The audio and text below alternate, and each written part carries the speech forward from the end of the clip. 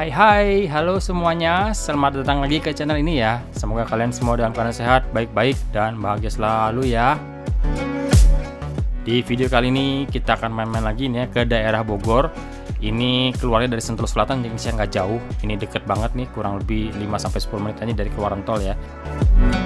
Kita mau menjelajah Cafe Teruntung Teduh yang ada di Bogor nih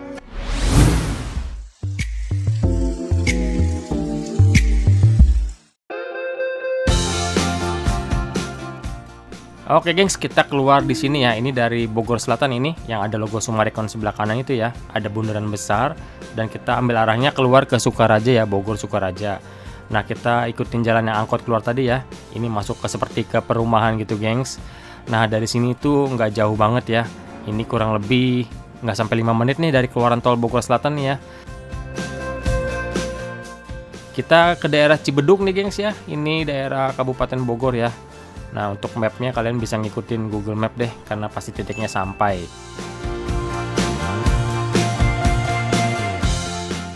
Nah itu ada pelangnya ya di sebelah kanan ini Tung Tung Cafe.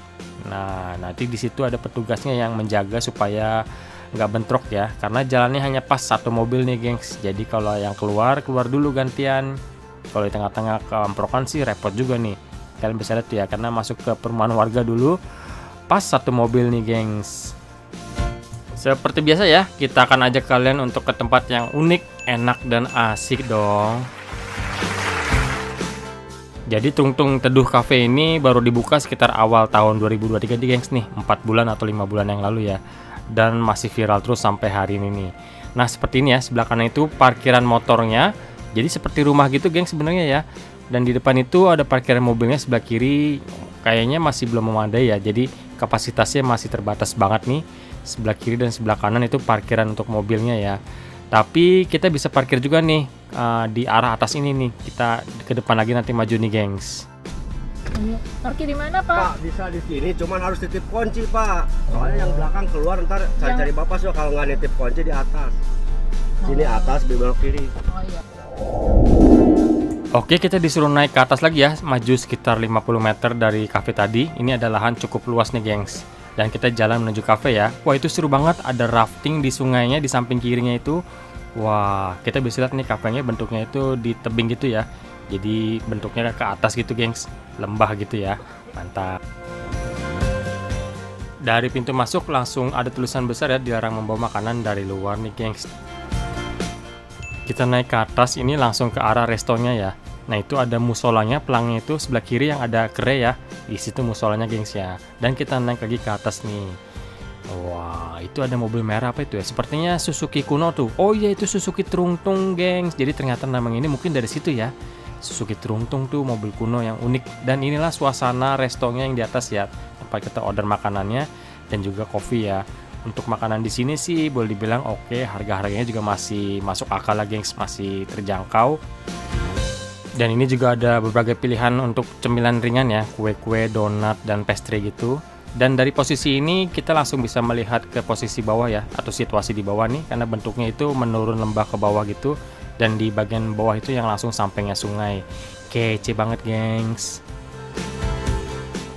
Oke di lantai ini adalah tempat kita untuk order makanan ya Ini mak banyak makanan beratnya Dan harganya juga masih masuk akal ya gengs ya Masih worth it deh Dan pilihannya juga cukup ini ya menggiurkan, bikin lapar juga nih gengs dan masakannya juga enak di sini.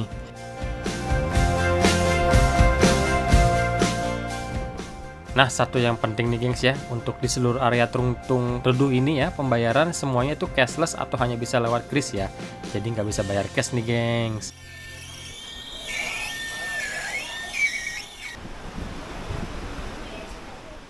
Ini ada tangga lagi kita akan langsung naik ke atas ya kita lihat nih ini sepertinya tempat makan juga di atas ya. Dan itu di hias-hias ini. Jadi sebenarnya kalau dilihat nih sebenarnya seperti rumah biasa aja cuman ukurannya besar ya. Jadi dimaksimalkan untuk menjadi sebuah cafe nih gengs. Nah inilah kita di lantai paling atas di titik tertinggi ya. Nah itu sebelah kiri kita bisa ngeliat parkirannya. Dan di sini juga masih adem ya dan juga anginnya ini loh silir-silir semilir bikin ngantuk ya gengs di sini kapasitasnya juga cukup banyak bisa lesehan bisa duduk di meja kursi dan juga bisa duduk di area seberang sana ya yang masih di dalam kawasan lantai yang paling tinggi ini gengs di sini benar anginnya sejuk banget karena nggak terhalang apa-apa ya, semuanya langsung masuk. Dan yang ada dua payung ini ada sebuah pintu, seperti ini ruangan bisa disewakan ya mungkin untuk resepsi pernikahan atau acara-acara khusus gitu deh geng. Nah, tepat di bawah uh, lantai yang ini kita bisa melihat langsung ada sebuah tempat yang diberikan karpet uh, rumput gitu ya untuk lesehan dan juga ada jaring-jaring gitu buat santai relax. Buat foto-foto juga kece banget, gengs. Dan di samping pinggirnya ini seperti ada tenda-tenda Indian lagi kecil dan juga foto-foto juga ya, spot foto juga nih, gengs. Kece banget dari sini foto, gengs.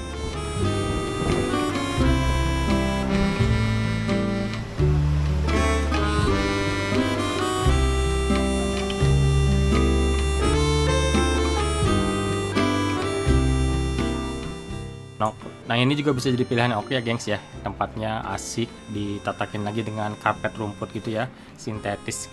Dan kita bisa berteduh di bawahnya nih. Tetap aja sih cocoknya sore ya Kalau siang panas nih gengs di dalamnya. Dan pemandangannya langsung ke sungai gitu ya. Dan turun satu step ini ada tempat untuk duduk-duduk lagi. Ini lebih adem ya karena ada pohon rindang di atas.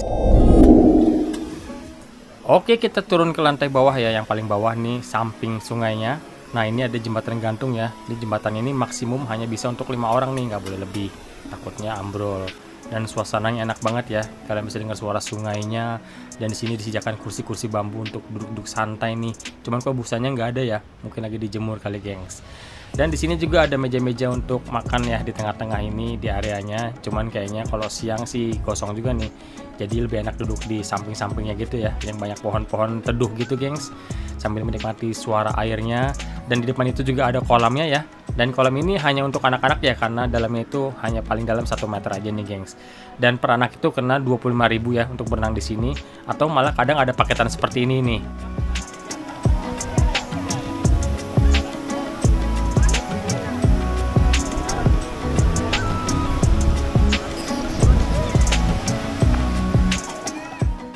Nah, kalau kita nengok ke atas, yaitu ada Flying Fox. Wah, wow, itu Flying Fox juga 25.000 per anak sekali meluncur ya. Asik nih, lumayan panjang loh jaraknya. Dan di bawah pohon yang rindang ini adem sejuk ya, kita bisa bersantai-santai di ranjang gantung gitu. Wah, mantap banget gengs. Ini juga bernuansakan seperti di pantai ini ya, dengan rumbai-rumbai begini gentengnya. Nah, semakin ke ujung ini, di sebelah kirinya ini, tepat di pinggir sungai ini, banyak jajanan cemilan-cemilan gitu ya, gengs ya. Yang sekedar makanan-makanan buat iseng-iseng, tapi enak-enak nih. Ada banyak juga pilihannya ya.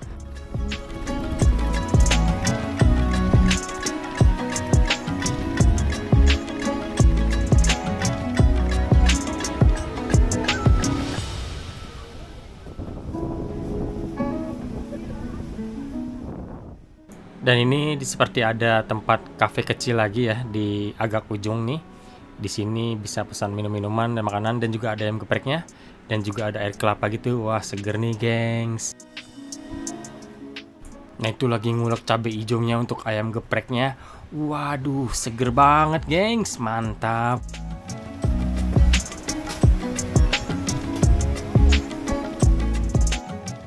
Nah itu dia penampilannya setelah ditaruh di atas ayam breknya ya. Wih mantep deh.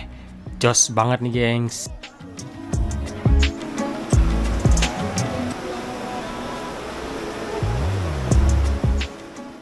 Di area ini juga bisa jadi pilihan asik ya Karena tepat di samping sungainya Suaranya asik Dan juga semuanya pembayaran bisa langsung di sini ya Tanpa harus ke atas lagi nih gengs. Cuman di sini lebih ke makanan-makanan cemilan-cemilan gitu ya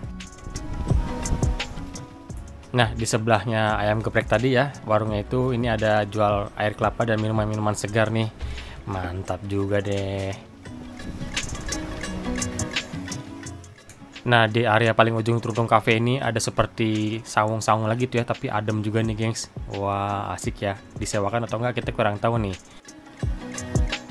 Nah, inilah dia area Truntung Teguh Cafe yang berada di Bogor ya ini, gengs dari ujung ke ujung suasananya dibikin nyaman dan memanjang bentuknya ya tepat di samping sungai yang cukup deras nih. Dan di bagian tengah ini sisi seberang kafenya itu ya ini ada seperti panggung kecil dan sepertinya ada speaker-speaker itu untuk live music mungkin weekend ya. Wah seru banget nih kalau gitu nih Nah, buat kalian yang mau nyobain rafting ini bisa nih ya. Ini kena 150.000 per orang, gengs, dan maksimum 5 orang dan harus booking terlebih dahulu ya. Nggak bisa langsung datang langsung main nih, gengs.